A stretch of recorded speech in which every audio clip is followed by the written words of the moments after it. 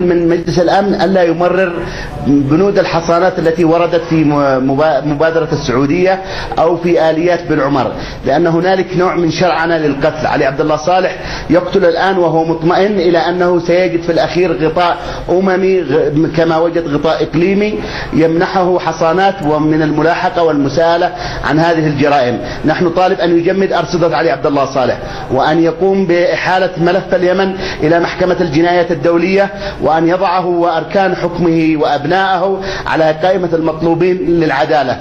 نحن نطالب بأن يتم محاصرة هذا النظام وعزله دوليا لكي يتوقف عن هذه الجرائم التي يرتكبها كل يوم. وإذا لم يحدث ذلك فإن مجلس الأمن معنى ذلك أنه يتعامل بمواقف متناقضة أنه لم يطبق ميثاق الأمم المتحدة الذي ينص على حماية حقوق الإنسان على حماية المدنيين على حق الشعوب في تقرير مصيرها. ونحن كيمنيين قد قلنا لعلي عبد الله صالح لقد سئمنا منك ولا نريدك.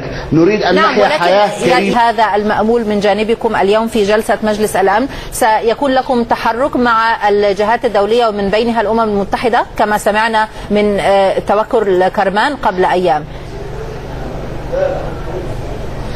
نحن عموما سنمضي في ثورتنا نحن نراهن بدرجة رئيسية على إيماننا بالله ومن ثم إيماننا بعدالة قضيتنا وبثورتنا وسنمضي. يعني إلى جانب الثورة سيد خالد أنا أسأل هل, هل هناك أي تحركات؟ هل هناك أي تحركات على صعيد المنظمات الدولية؟ لأنها نعم. الآن تناقش مسألة اليمن. على, على صعيد الم...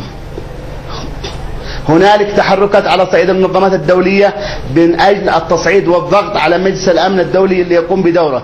من المقرر أن يدشن اعتصام مفتوح وأن تكون السيدة توكل كرمان الحائزة على جائزة نوبل على رأس هذا الاعتصام ويكون اعتصام أمام الأمم المتحدة ليضغط على المجتمع الدولي ليقوم بدوره وأيضا ليفضح الجرائم التي يقوم بها نظام صالح وفي ذات الوقت ليتصدى لمحاولة الشرعنة والتبرير والإباحة لجرائم القتل التي يقوم بها طيب. صالح من خلال منحه حصانات وضمانات تعفيه من العقاب والملاحقة. في هذا الصدد ما هي يعني تطلعاتكم من اللقاء المشترك؟ الآن يعني يجب أن نقول المجلس الوطني لقوى الثورة الشعبية. هل هناك أي تطلعات؟ هل تعولون على هذا المجلس على الإطلاق؟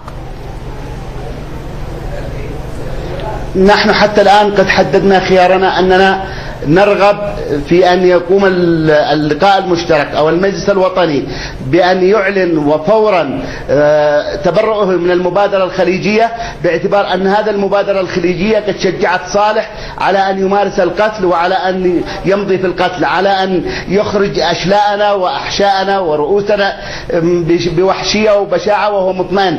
نطالب الآن المجلس الوطني أن يعلن أن المبادرة الخليجية هذه قد انتهت بفعل صالح الذي قام بقتل النساء والأطفال والشيوخ بقتل المدنيين وقتل المتظاهرين وأن يقول أنه لا حصانات ولا ضمانات لصالح من المحاكمة باعتبار أن هذا خيار شباب الثورة وبذلك سيكون المجلس الوطني يمثل خيار الشباب ويمثل قرار الشباب.